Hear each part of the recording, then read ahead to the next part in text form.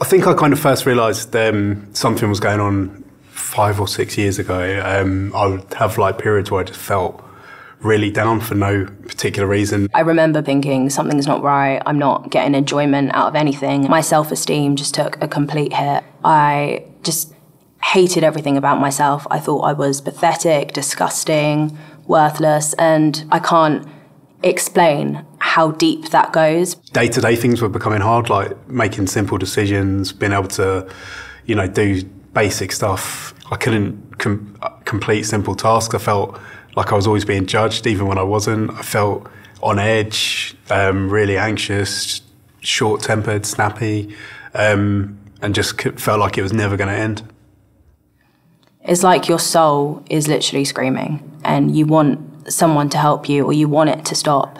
I, I, did find mental health a difficult uh, thing to talk about back then. It's just something I wasn't able to kind of get my own head around, and also I wasn't really able to fully articulate how I was feeling. I could have these kind of low periods and just bury them and not try and address them. It got to a point where I was in a really dark place, which I, I, never wanted to be and don't want to be again. I can have people around me, I can have supportive friends and supportive families. Despite all of that, you can still feel like you're going to get judged or like they might say the right things, but they still don't fully understand. And so I think feeling completely isolated is the worst feeling. The reason I wanted to start volunteering for My Black Dog was just that I got to a place where I felt healthy enough to actually give something back. If I could help anyone, even the tiniest bit, and ease that pain by making them feel like they're a little bit less alone or a little bit more understood, then you know that's something that I'd want to do.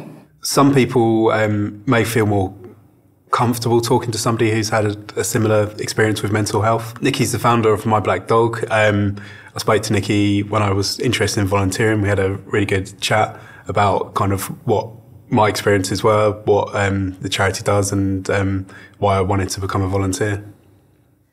My Black Dog is a peer to peer support service for people who are struggling with their mental health. What makes us really unique is the community that we've built, because every single person who's involved in My Black Dog has had a lived experience. My Black Dog are online every day, and it's really easy. You just go onto the website, myblackdog.co, and there's a chat function and you just start a chat.